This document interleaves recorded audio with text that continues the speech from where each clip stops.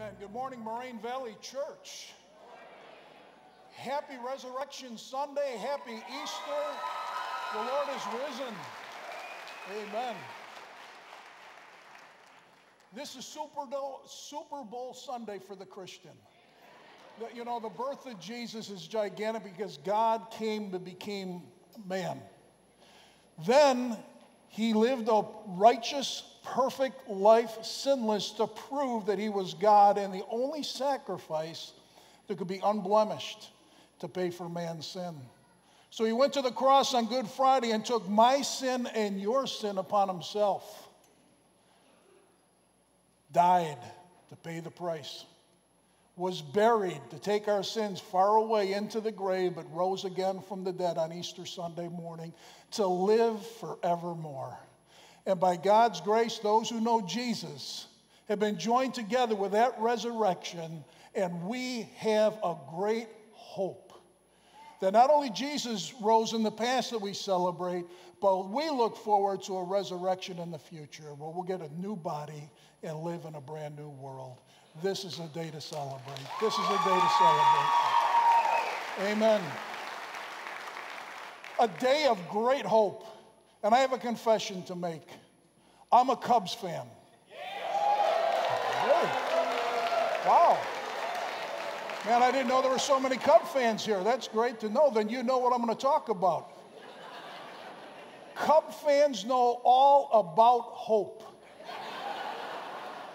Every year, about this time in the spring, what do Cub fans think? This is the year. We are so excited. Maybe this year really is the year. We'll see. But we always start believing that. But it doesn't take long into the season as the defeats start to add up. They're kind of like a little hole in a tire that starts to lose its air gradually.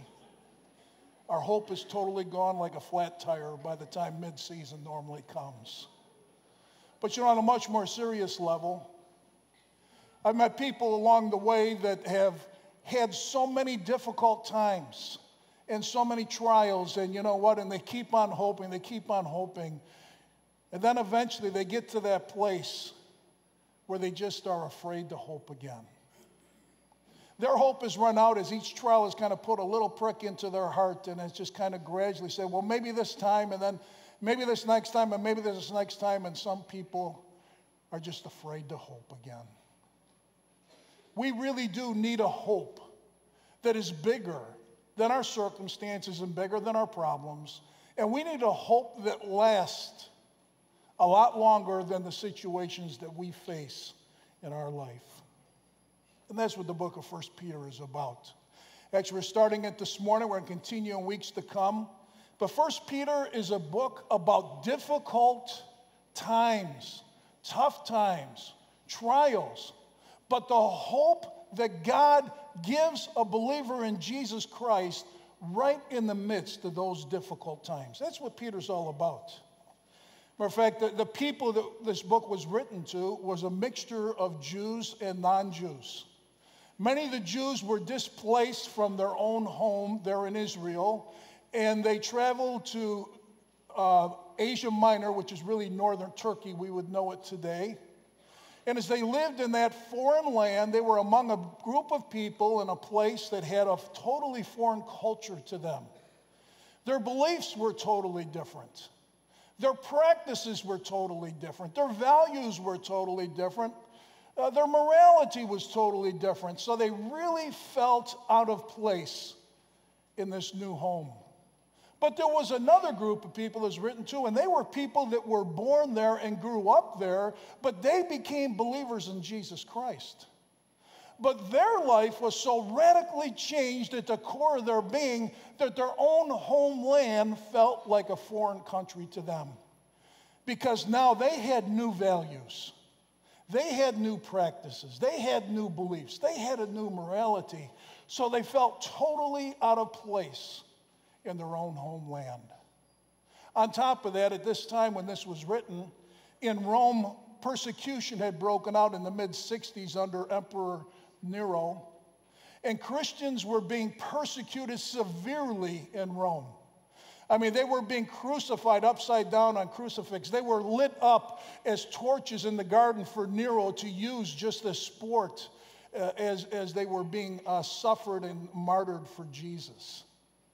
Now, Asia Minor was part of the Roman Empire. They were out on the fringes, edges of it, and at that time they weren't experiencing that kind of suffering. But just the start and the reverberation from the city of Rome was starting to move out into the Roman Empire, and they were starting to feel some of the persecution and trials for being Christians. That's who this book was written to. People that were out of sorts with their own homeland and somehow didn't feel at home at home. People that, because they knew Jesus Christ, were suffering and being, uh, uh, what you want to say, uh, set aside in a different way and treated unfairly and prejudiced against. And as you turn to the book of Peter, and if you don't have a Bible in front of you, we have them in the uh, seats right in front of you underneath. You could uh, look on with a person next to you or even if you don't have that, if you just have a flyer with you this morning, I put the passage on the back of the flyer we're going to look at today. But this book, Peter, who was in Rome during this time of persecution, was writing to these people in Asia Minor who felt out of place in their own home and were uh, dealing with severe persecution, trials, and suffering. And there's some of you here today that might feel that way. There's some of you here, even in the United States, that feel like, you know, I know the United States is my home, but down in the core of my being, my beliefs and my values and my moralities and my practice are so different than the country I live in.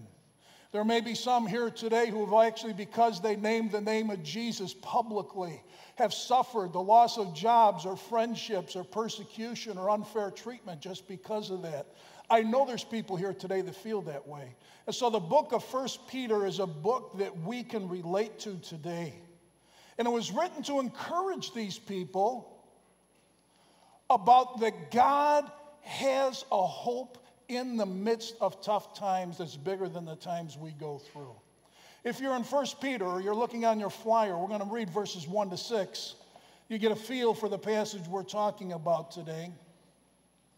And starting in verse 1, he says this Peter, an apostle of Jesus Christ, to those who reside as aliens scattered throughout Pontus, Galatia, Cappadocia, Asia, and Bithynia, who are chosen according to the foreknowledge of God the Father by the sanctifying work of the Spirit to obey Jesus Christ and be sprinkled with his blood. May grace and peace be yours in the fullest measure. Blessed be the God and Father of our Lord Jesus Christ, who according to his great mercy has caused us to be born again to a living hope through the resurrection of Jesus Christ from the dead, to obtain an inheritance which is imperishable and undefiled and will not fade away, reserved in heaven for you, who are protected by the power of God through faith for a salvation ready to be revealed in the last time. This morning, we want to look at this passage and answer three questions about hope. We want to look at what, what is the basis of this hope? What is this hope exactly, and how do we get it? That's what we're going to try to answer this morning in 1 Peter chapter 1. Basically, what, what is the basis of this hope? He tells us right here at the start. It's tied into the resurrection of Jesus Christ. Look at back at verse 3. Blessed be the God and Father of our Lord Jesus Christ, who according to his great mercy has caused us to be born again to a living hope through the resurrection of Jesus Christ. It was Jesus being raised from the dead that is the basis of this hope that every believer in Jesus Christ has.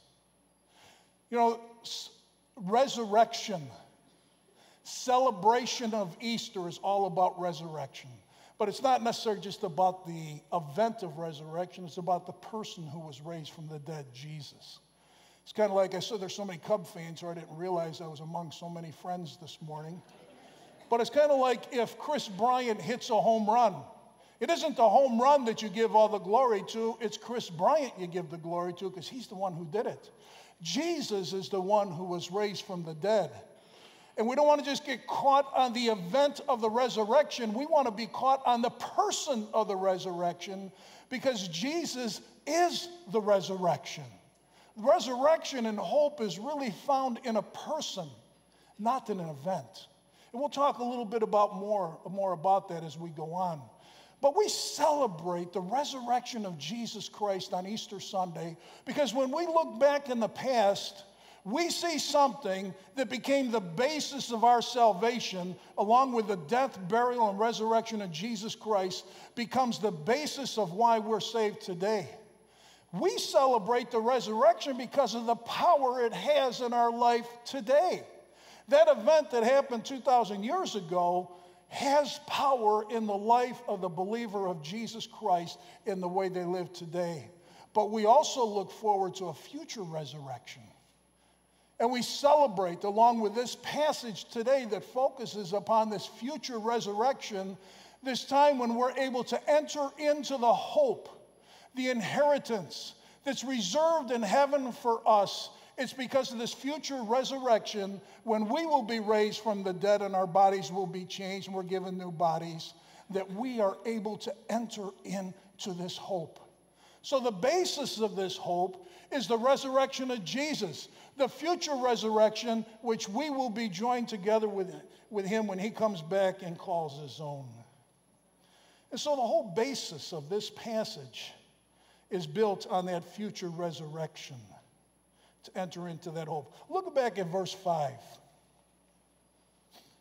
He's talking here about a salvation ready to be revealed in the last time. This hope is about something that is yet to come. We rejoice about the salvation that we have right now and what we've tasted of God's goodness right here in the land of the living. But the full expression of that salvation is yet to come. And this passage is talking about not just the celebration of the taste of the resurrection that we have right now, but that future when we are able to completely enjoy all the grace that God is going to give to us as His children as He fulfills all of His promises to us. And so this passage is looking forward to a future resurrection at the time when Jesus returns, a salvation that is yet to be revealed. And believers, you're already enjoying the salvation you have. We can rejoice in another salvation that is yet to come as we enter more fully into all the gifts that God has to give us. And at that time, when Jesus returns, our bodies will be raised from the dead, they'll be changed. They'll be changed into bodies like Jesus' bodies that will never die. And a body that is suited to live in a brand new environment in the kingdom of God in eternity. So, this hope that we look forward to is totally based on the resurrection of Jesus Christ. It's what he did in the past to save us. It's what he's going to do in the future to let us enter more fully into the completeness of that salvation.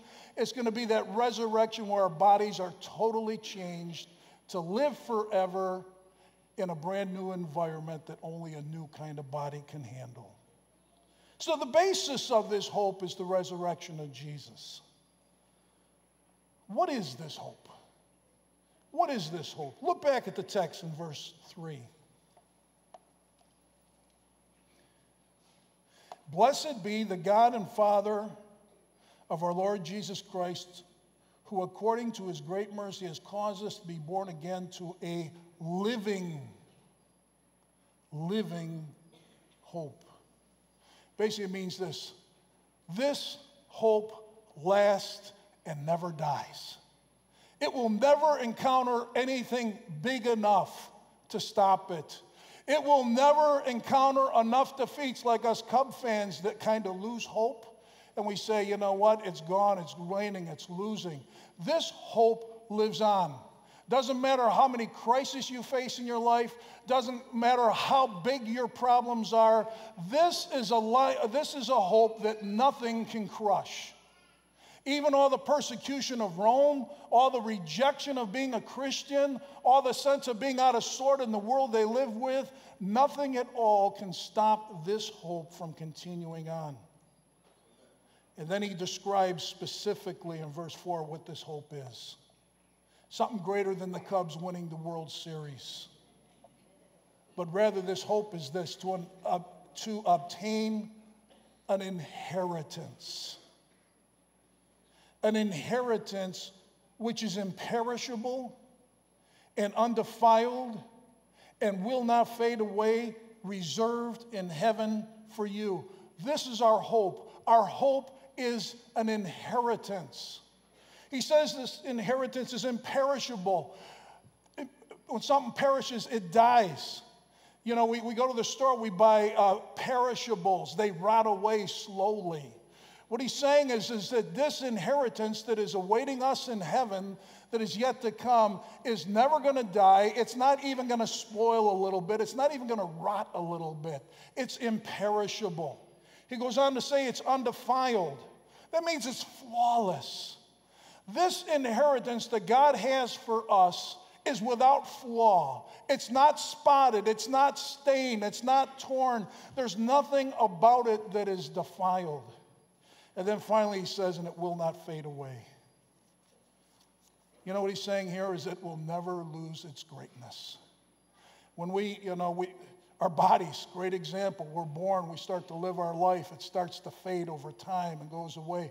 What he's saying is, you know what this inheritance is? It's something that will be at 100% throughout eternity. It will not lose one percentage of its glory. As time goes on, it will not fade away, it will not lessen, it will not diminish. But this inheritance, which will never die, will never rot, is flawless, is something that's going to be at its 100% full operation, value, sort of say, glory throughout eternity and never lose one bit of it. That's the inheritance we have awaiting us. Well, what is the inheritance? Okay, we kind of described it a little bit.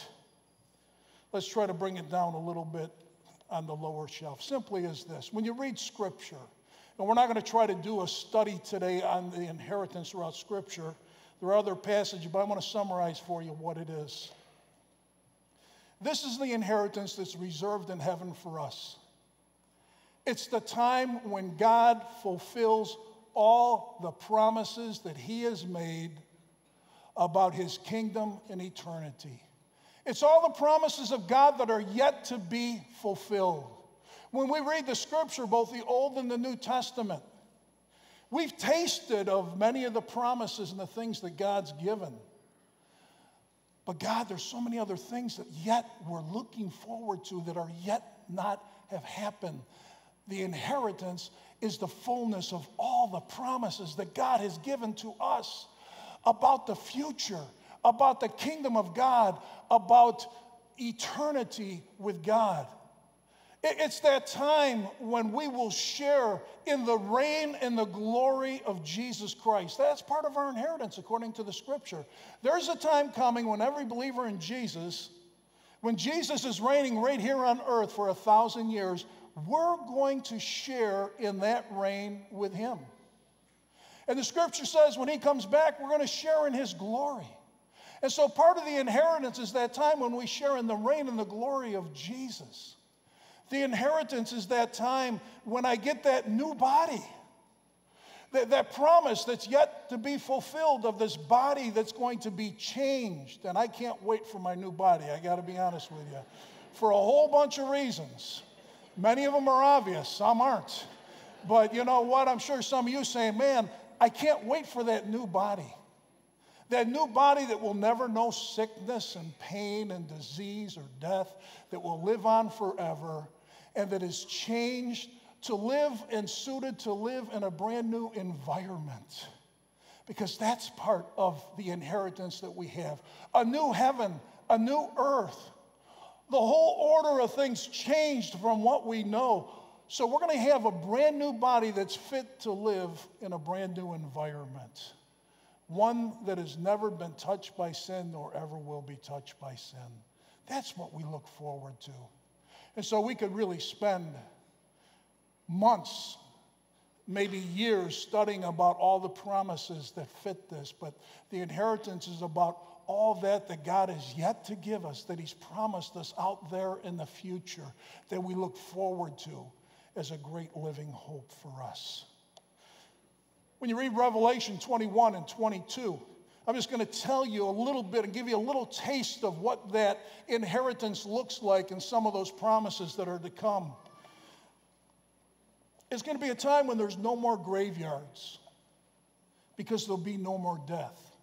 There'll be no more funerals, no more tearful goodbyes, no more emotional pain, no more depression or rejection or separation or abuse or loss.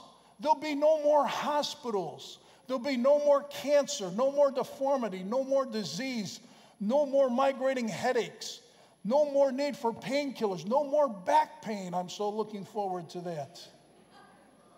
No more health insurance. You won't need health insurance. Why, why do we need health insurance?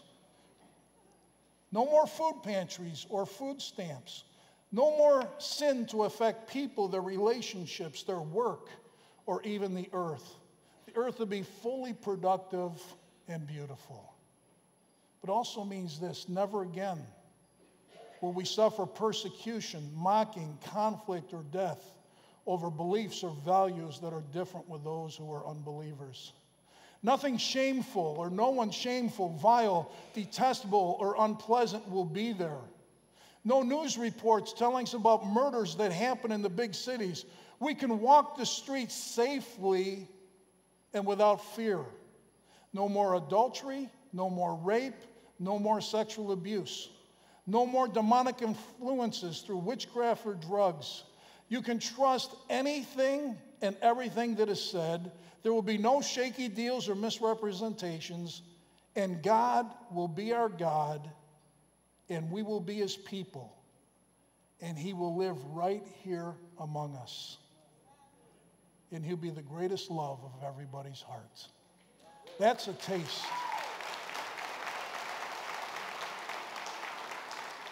That's the hope this passage is talking about. That's the inheritance, but there's so much more. That's just a little tasting when you read Revelation 21 and 22. The Bible is loaded with descriptions of the great inheritance that God has for us that we're waiting for. And this kind of inheritance is big enough and strong enough and last that no matter what kind of situation you're facing in life, the hope that this gives is greater. And you know what it's like when you lose hope, guys, you're in trouble. hope sustains the heart. It's the thing that, in the midst of difficult times, gives me the ability to get up tomorrow morning and keep going, knowing that at some point and at some time there's a better future that awaits me. We don't have to quit. But when you lose hope, guys, you get up and say, What's the use in going on? What's the use in getting up? You keep on going. So, the basis of our hope is the resurrection of Jesus Christ. What is this hope? It's the inheritance of all the promises that God's made for us that we're looking forward to in the future. The final question we have this morning is this How do I get this hope? How does it become mine? Look back at verse 3.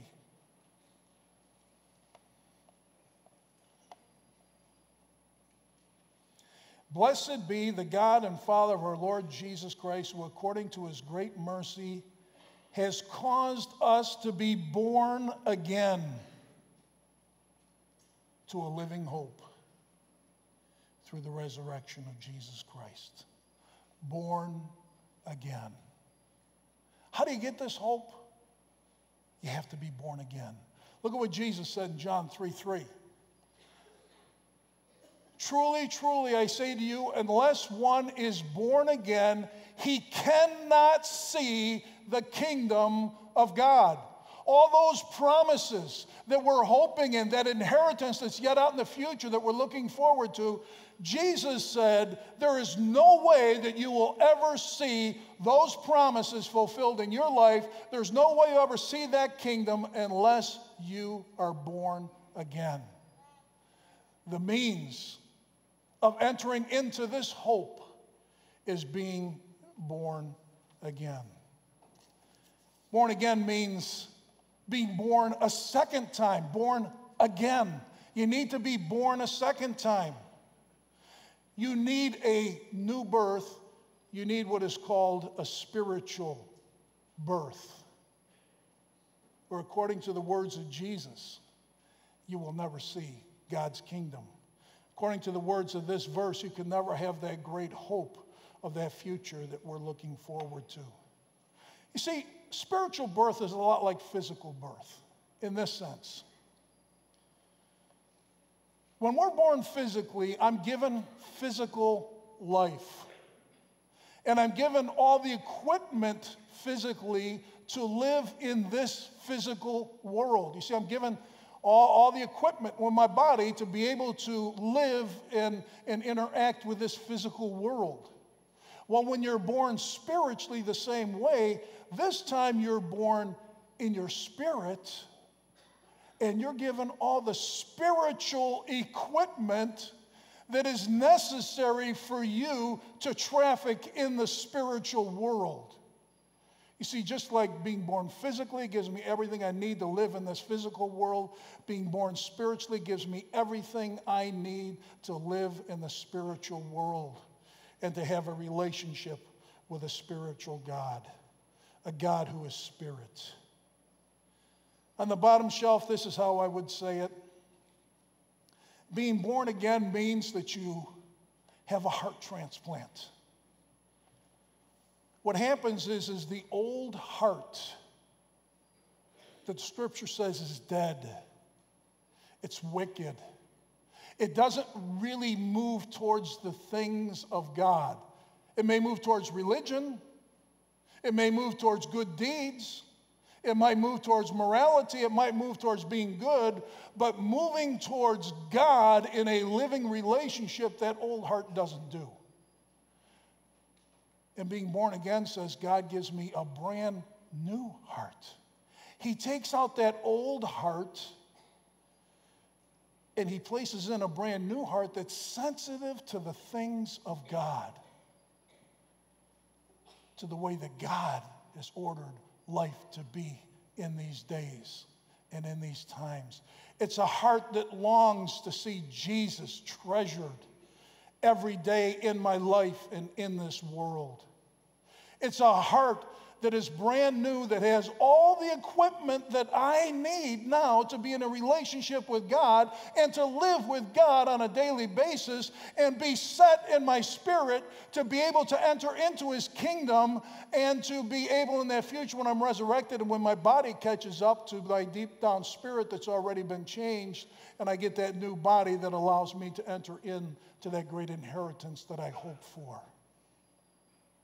See, that's what it means to be born again.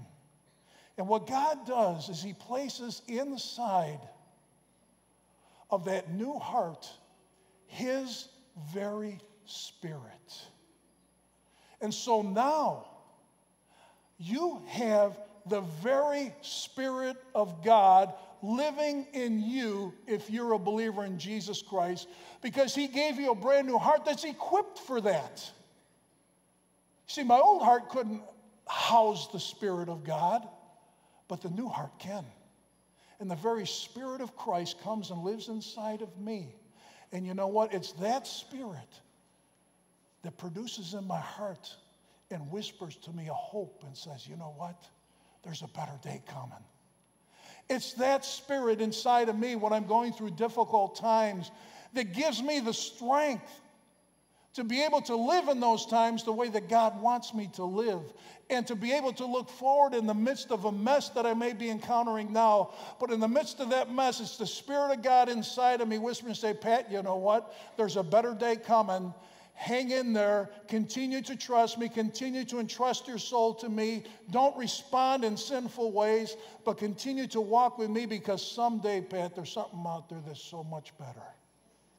Keep walking with me. And it's that spirit inside of me and inside of every believer that supernaturally produces a hope. This isn't something we have to drum up, it's something that God places deep within the heart of a believer in Jesus Christ. So, my question to you this morning is this. Well, let me say what my question is not. My question this morning is not this Are you religious? My question this morning is not Do you go to church? My question this morning is not, do you do good deeds?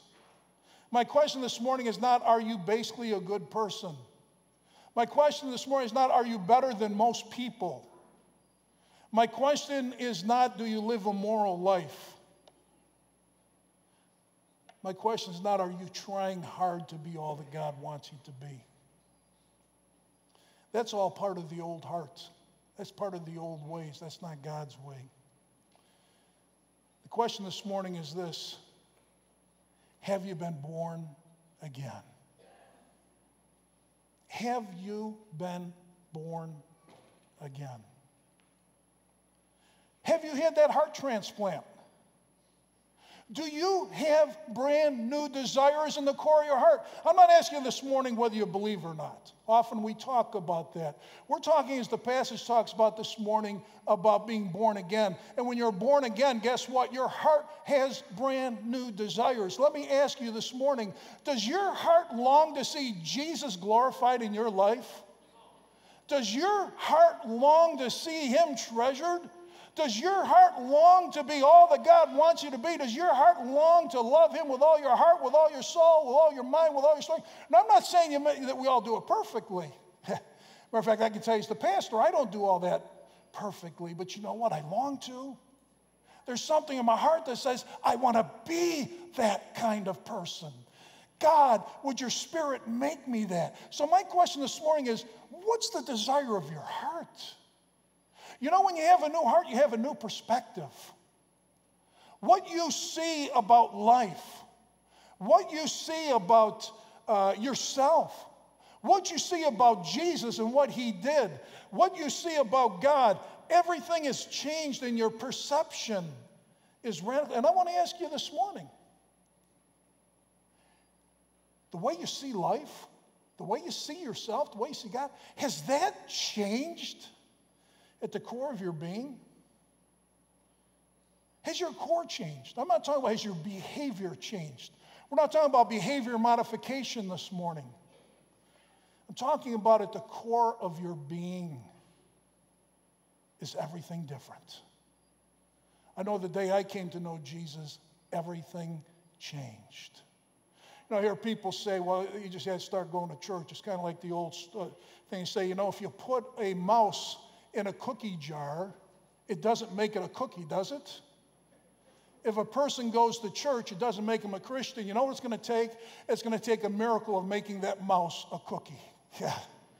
It's going to take a miracle of that person who's sitting inside of a church building on Easter Sunday morning at the core of their being for God to reach down and to pull out that old heart and give them a brand new heart and place His very spirit inside of that heart. Because he who has the Son has life. So, how do I get this new heart? You know, like physical birth. We didn't do anything to get physical birth. Totally a work, a joy, a pleasure of our parents.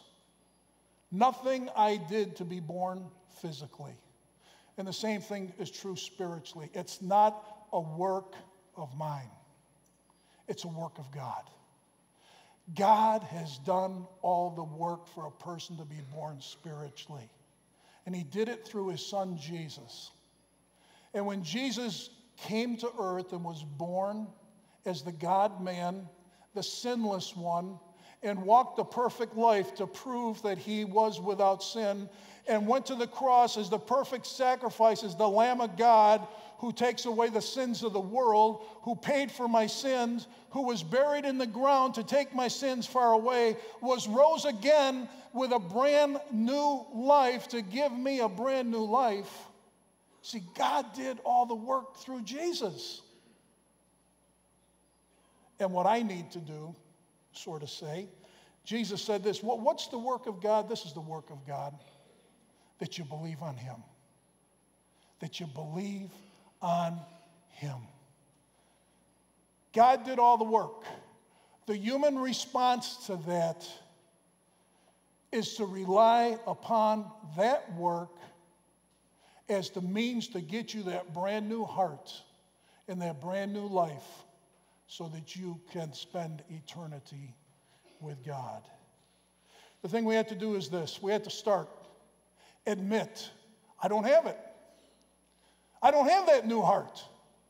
Maybe I've been going to church, maybe I've been trying to be better, but I never got that brand new heart.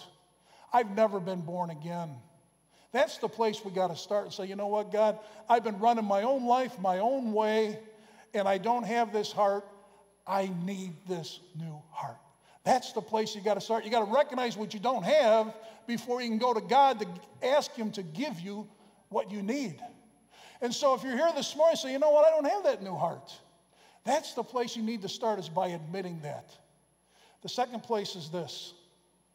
You need to believe that Jesus did all the work for you. Maybe more than just an intellectual belief, you need to declare it. In other words, this morning, I'm making a declaration before God and man and saying, you know what? I recognize that there's nothing I can do, that Jesus did it all. That when he died, he paid for my sins, and when he rose again, he's given me a brand new life. And you need to make a declaration at the core of your being saying, I believe that.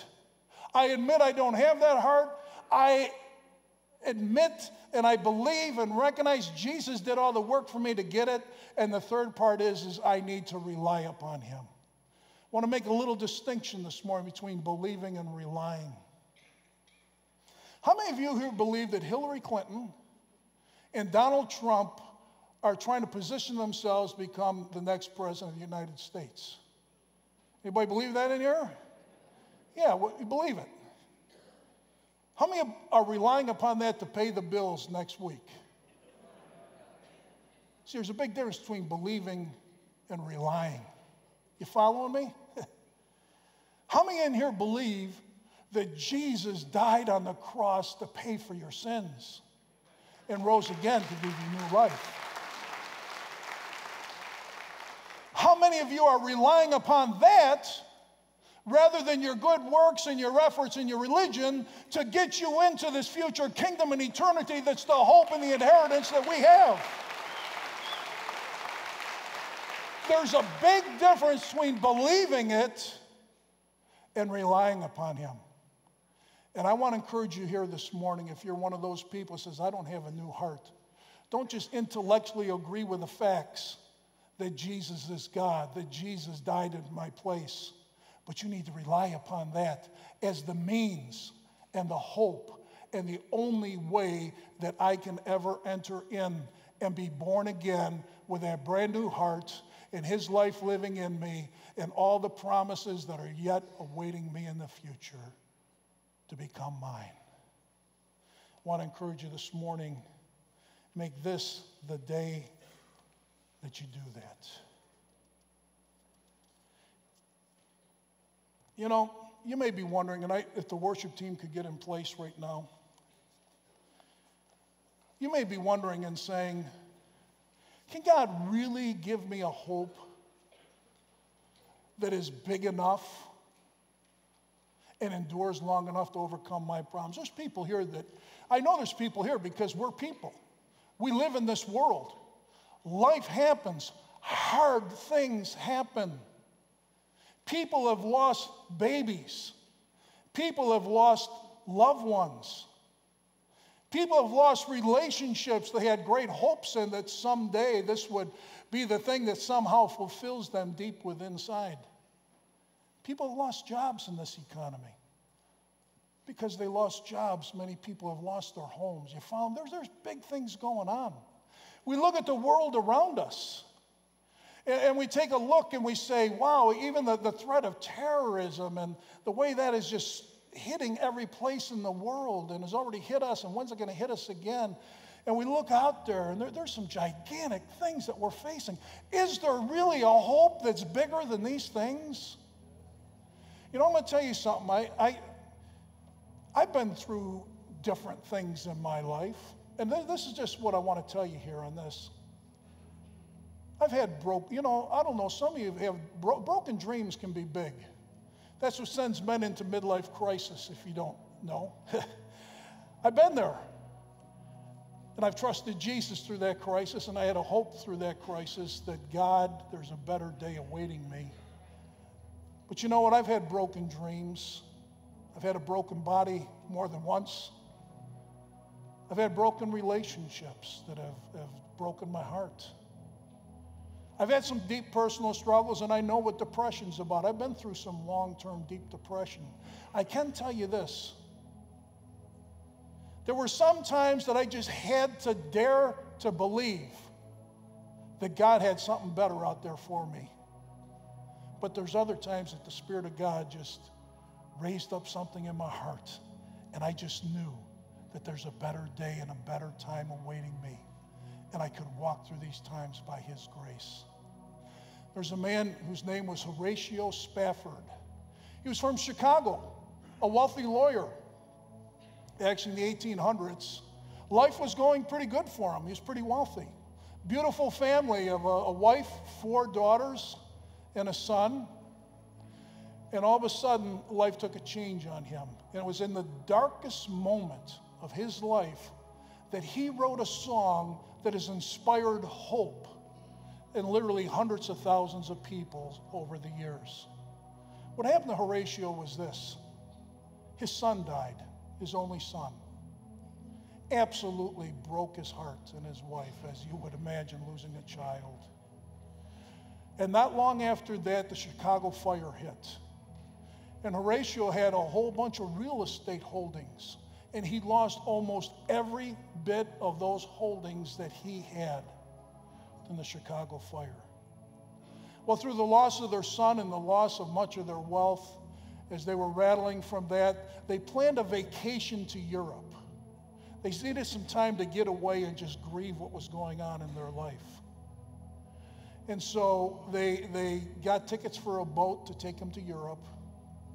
And some last minute details came up that Horatio had to stay a couple days extra to, before he could go to be able to join the rest of the family. So he sent his wife and daughters on the boat over to Europe and he was going to meet them. Well, on that boat ride, the boat uh, encountered a collision. All four of his daughters drowned, and his wife barely survived. Horatio had heard about this, and uh, later he received a telegram from his wife saying, Saved alone. He knew at that time that his four daughters had died. Horatio got on a boat to go over to meet his wife, Anna, in England to be with her during this time of deep grief. And when that boat hit the spot where his four daughters drowned, he penned these words When peace like a river attendeth my way, when sorrows like sea billows roll, whatever my lot, thou hast taught me to say, It is well. It is well with my soul. And as we sing that song now, you'll notice in the very last phrase, He's looking forward to that day when his faith will be sight. He's looking forward to that day of the inheritance. He's looking forward to that day of the resurrection. He's looking forward to that day when he can once again be with his daughters and son as he sings with great hope. And as we sing this morning, let this song bring encouragement to you that even in the midst of our darkest times, it can be well with our soul because God can give us a hope for that future with Him.